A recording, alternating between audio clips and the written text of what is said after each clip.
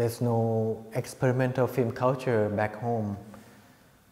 Mm, but I always think that I never really planned that much ahead, but more of trying to finish each film along the way and then after graduation trying to finish the first film to various grants um, and then it, it's just uh, snowballing and and coming you know even even when I make movies even when I went to Cannes for second time Tropical Malady 2004 I still question that is this a real profession because financially, I have to admit it's not that great, and it's, it's, it's uh, luckily Thailand is not that expensive.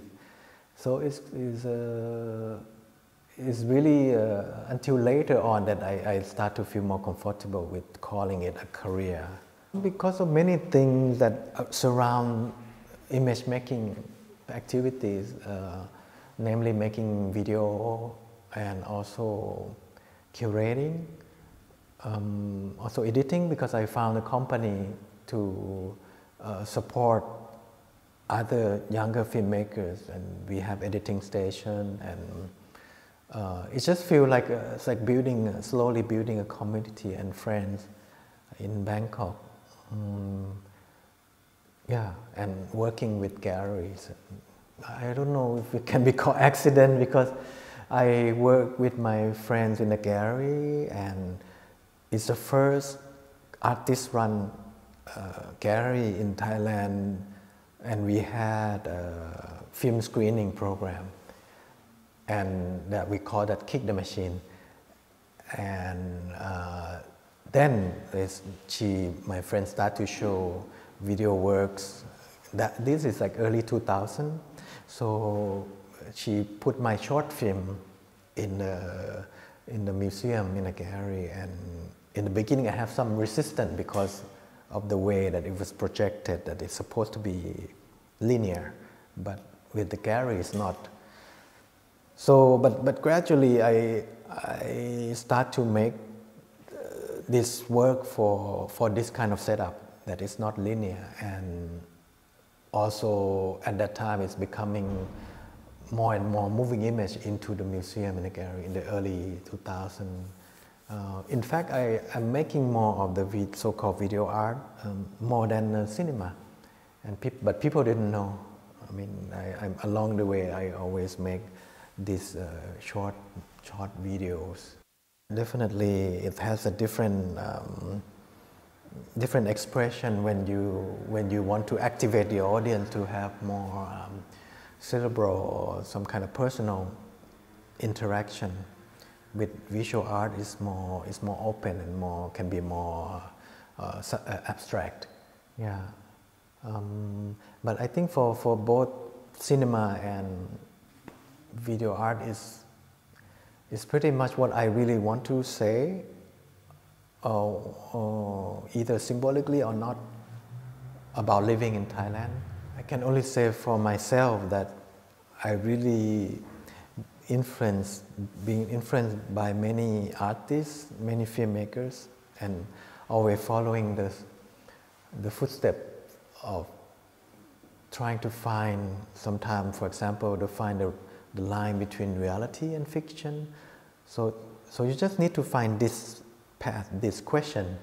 For me, reality and fiction is a, is a, is a big question mark that I follow until now.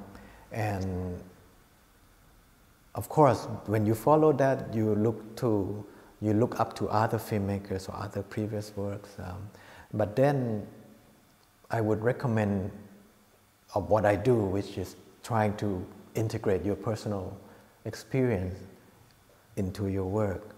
Um, because for me, I never had a movie of car crash or explosion, or because it, I never experienced those. So it's all very based on reality then I think the importance of those filmmakers of reference will become less and less, and you will feel the genuine uh, relationship between what you really experience and what you really love. Um, you can imagine, you know, what you're gonna miss most if that thing uh, doesn't exist. Until recently, I feel that uh, it's like two cars that going and the, the car that going further, which is um, a bigger car that has more elaborate uh, storyline and stuff, which is cinema. This car start to reach its limit yeah, in Thailand.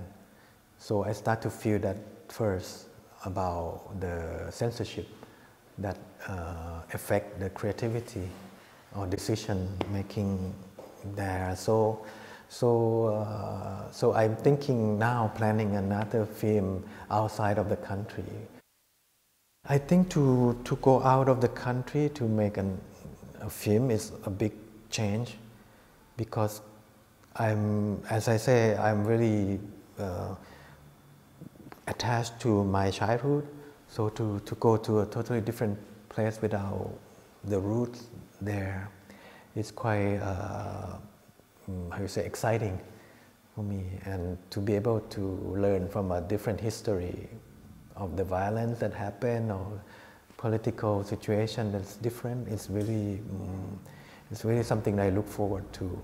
That's why I choose to, somewhere in Latin America because of the landscape or, or, or the stories that uh, I heard as a kid and also what influenced those Thai novels in the past where they wrote about the jungles and the tigers and yeah in fact they they were influenced by the west the west when the west went to latin america and uh, those uh, colonial time um, and romanticize the jungle the amazon and then so thai author, authors influence from that, and then it's me.